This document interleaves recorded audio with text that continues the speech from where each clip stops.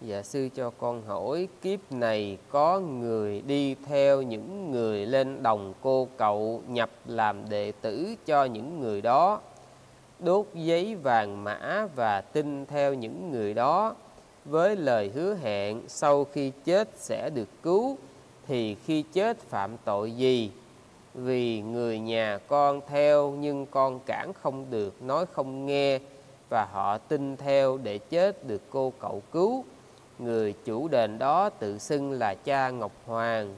Con rất muốn giúp họ thoát ra xin sư cho con lời khuyên. À, sư à, chia sẻ cái sự quan tâm của à, người hỏi đối với gia đình.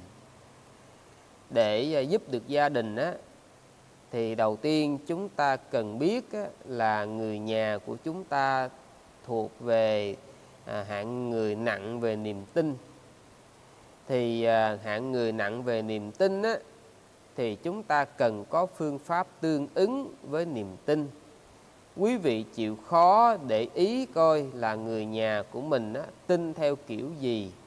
Ví dụ như tin do nhìn tức là thấy người ta làm cái này làm cái kia á, có những cái à, nó à, nó màu mè thì họ thích. Thì đó là tin do nhìn hay là tin do nghe? À, thì nếu thường thì chỉ ừ, gia đình quý vị thì sư thấy rơi vào một trong hai loại đó. À, tin do nghe là sao? Là nghe đồn. Đồn chỗ này linh lắm chỗ kia thiên lắm chỗ này có cầu tất ứng. Thì có hai loại. Một là nếu như phát khởi niềm tin do nhìn á, thì à, quý vị à, đưa à, đưa người nhà của mình á, à, sang những nơi như là Thái Lan hoặc Miến Điện.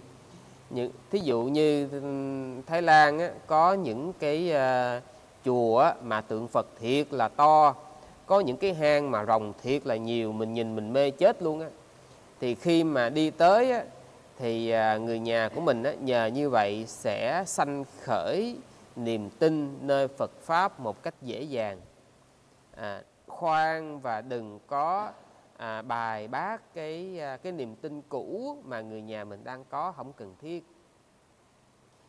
À, từ đó đó mình dần dần mình giúp cho gia đình của mình á, hướng đến chánh pháp.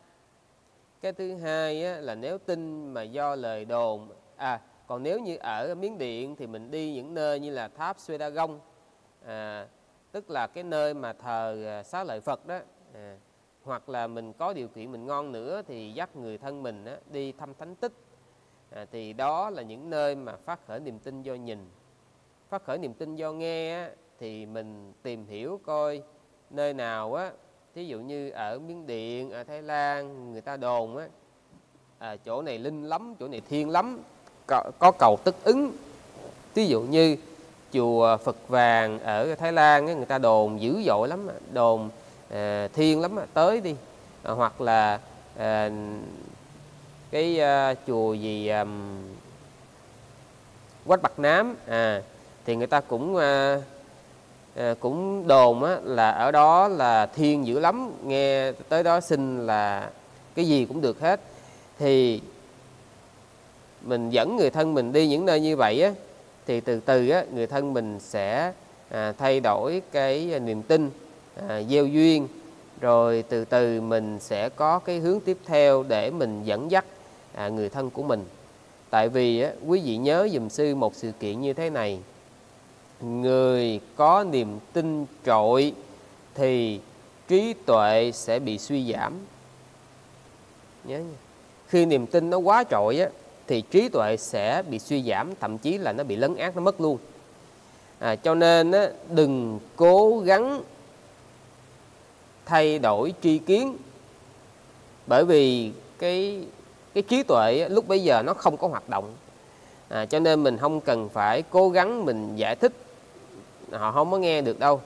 Mình phải dùng một cái niềm tin khác nó mạnh mẽ hơn rồi từ từ á, mình mới có cách mình hướng hướng tiếp được, chứ còn không thôi là mình không có giúp được.